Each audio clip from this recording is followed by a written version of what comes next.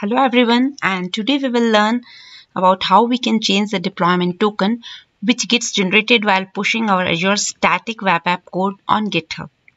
Now if you are not aware about how to establish the connection between VS Code and GitHub or say how to configure GitHub repo with Azure static web apps, I would recommend you to watch my previous video whose link I have already shared in my YouTube channel underneath the same video. So let's quickly navigate to the GitHub so this is the GitHub, portal and uh, I'm going to the application which I have already deployed it.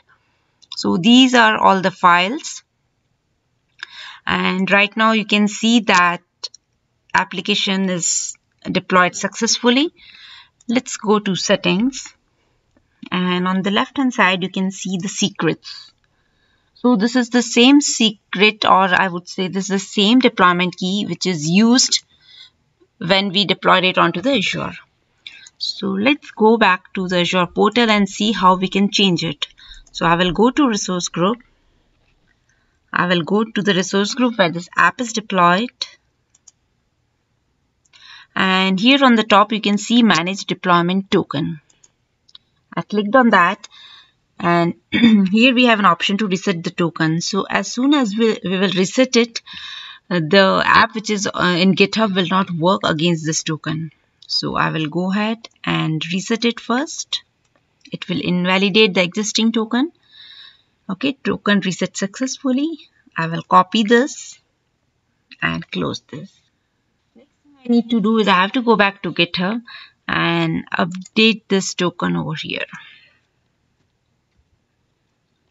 paste it and update the secret. Well everything is up. Now let's quickly verify whether it is really up and things are working.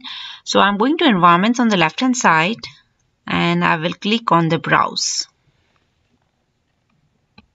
So we can see that app is still up and running.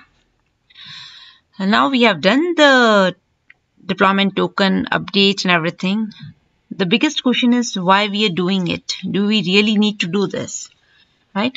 So usually changing the deployment token is not required that frequently until and unless our existing token is haggled. Or uh, another reason could be let's say we are setting up our github repository manually.